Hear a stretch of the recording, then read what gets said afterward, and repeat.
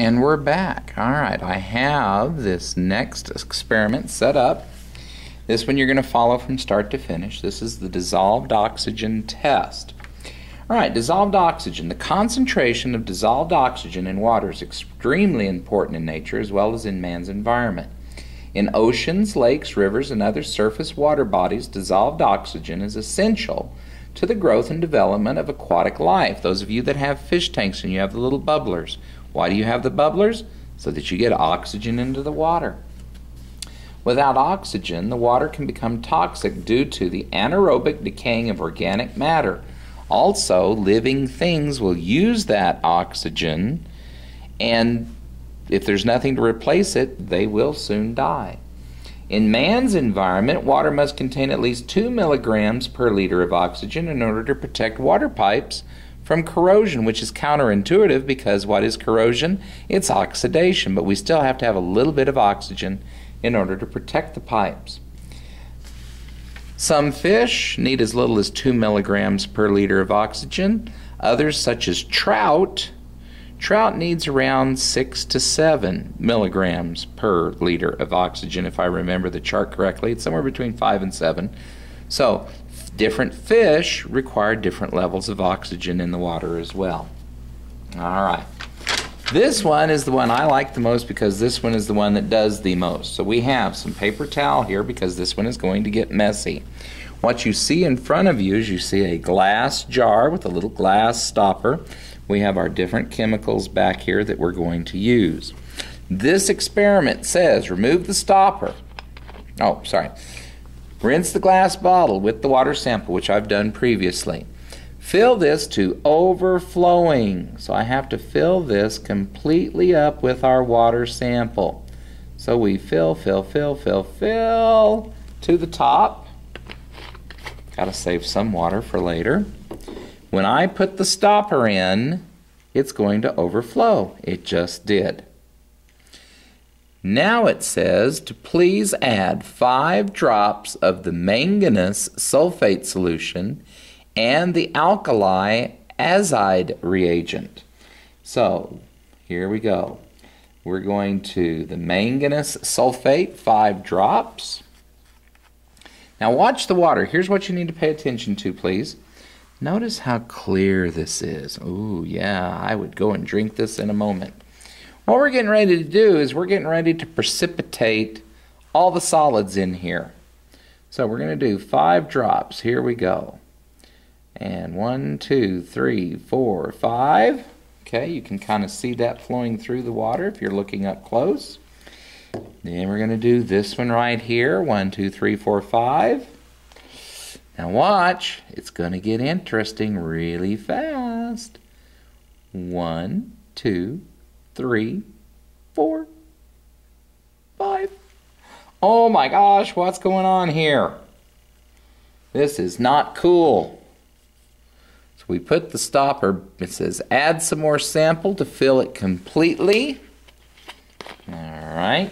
So we're going to just add a little bit more to fill this back up. There we go. Put the stopper back in.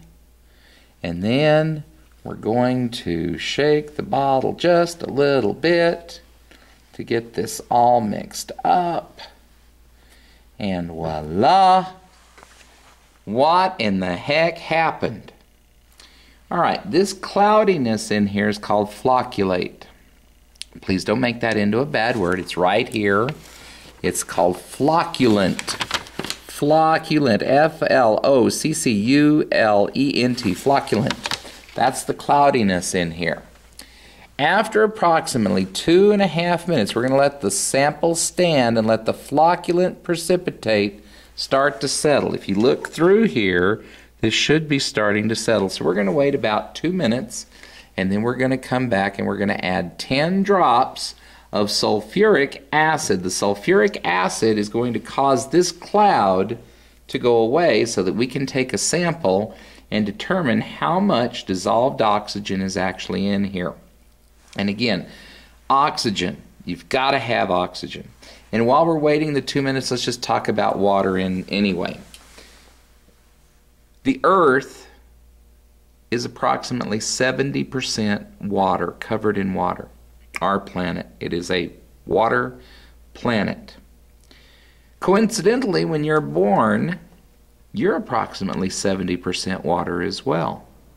Which means if you weigh 100 pounds and we put you in an oven and bake you down and get all the water out of you, all that's left is 30 pounds of bone, skin, muscle, tissue, and organs. Human beings have been known to go anywhere from 50 to over 80 days without eating solid food, just drinking water. But no human being has ever gone more than four or five days without drinking water. And most human beings die after three days of not drinking water. So, the single most important thing that you need to be doing to ensure your health is to be drinking water. That's our ad for water. Now back to the experiment. So we've waited about two minutes. We're now ready to put in our sulfuric acid. So here we go. We're going to put in 10 drops of sulfuric acid. Let's watch what happens. 10 drops. Here we go. One, two, three, four, five, six, seven, eight, nine, ten. As you can see, something is definitely happening in here. After approximately, it says again, stopper the bottle. So we're going to stopper the bottle again. And they want us to invert the bottle a few times. Like this. And oh my gosh, something has happened.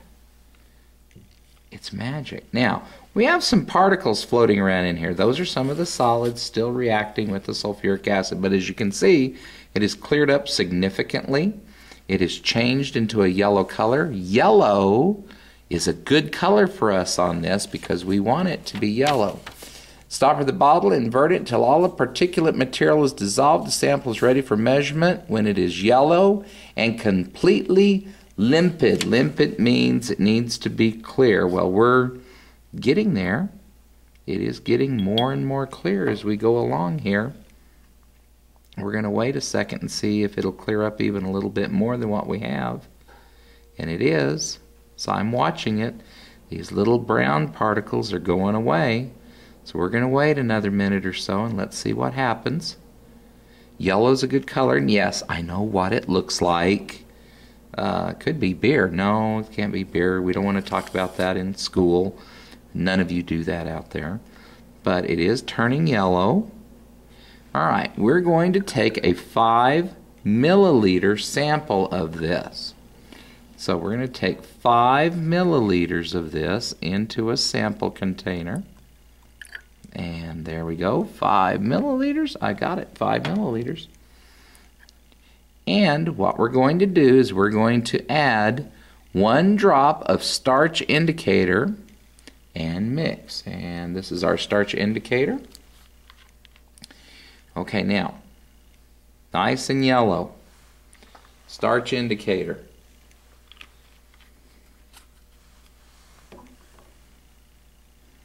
Ooh, that's quite a change. All this is necessary though so that we can determine how much oxygen is in here. Now we're going to take our titration solution. We're going to pull it up into our cup. Now, what we're doing here is we want to see this change colors. And we want this to change to, and I'm looking off here, we want this to change from blue. And if this is blue, ladies and gentlemen, it is dark, dark blue and we're going to change it back to colorless. So let's count some drops, shall we? We're going to read off the milliliters when we're done. We're starting with one milliliter. Okay, so if one drop is 0.3, here we go. One, two, swirl, three, four. Swirl. I know you're going to get tired of me saying that. Five, six. And when this changes, it's going to suddenly change, so keep your eye on it. Seven, eight. It's already clearing up a little bit. Eight,